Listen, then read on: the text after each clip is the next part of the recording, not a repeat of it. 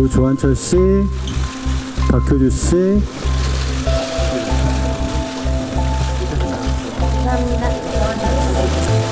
윤창모 감독님, 그리고 이영진 씨, 김태훈 씨. 네, 그럼 지금부터 기자분들과 함께 질의응답 시간을 갖도록 하겠습니다. 그 처음에 알려지기를 저의 첫 멜로 연기라고 얘기를 해서 저도 되게 기대를 하고 이 작품을 했거든요.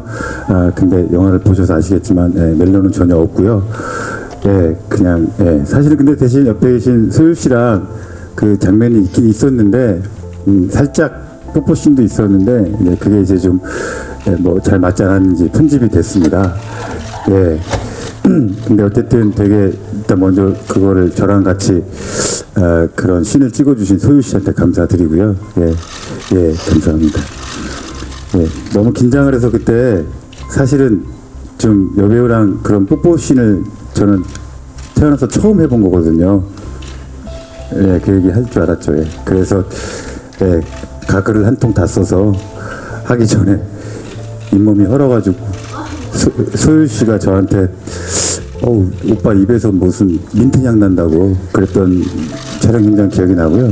저 어, 저하고 1편 감독 윤창모 감독 그다음에 양종현 감독 정호덕재 감독 이렇게 다 아주 뭐 친동생 같은 친한 선후배가 동료들이 친구들이에요. 근데 한 2년 전부터 같이 펜션에 다니면서 가끔씩 뭐 몇 달에 한 번씩 가면 펜션에 자주 갔어요. 가서 남자 넷이 모여서 뭐 그냥 놀고 그냥 잠시 뭐 밥해 먹고 산에 가서 걷고 그렇게 시간을 보냈는데 그렇게 한 2년 가까이 서로 만나면서 펜션에서 재밌었어요. 그런데 양조영 감독이 이렇게 노는이 우리 시나리오 한번 써보자. 그래서 어 좋은 생각 쓰- 써보자. 그래서 서로 이제 네 명이 한 달 만에 시나리오를 써갖고 왔어요. 뭐 휴양림을 공통의 장소로 할 것인가, 펜션을 공통의 장소로 할 것인가 하다가 펜션으로 정했고 각 장르를 네 명이 나눠서 이렇게 썼죠.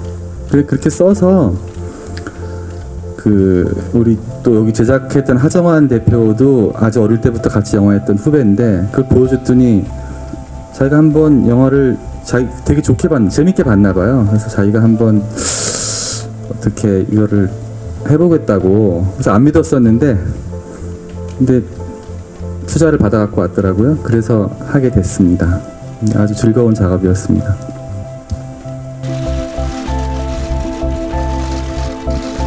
알겠습니다.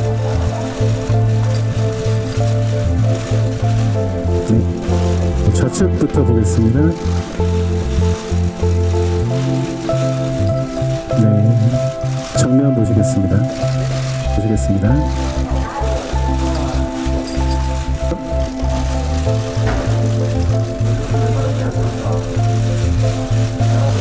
보실게요.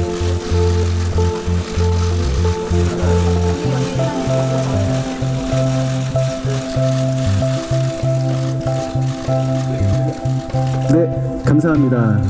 네, 배우분들과 감독님들은 모두 퇴장 부탁드립니다.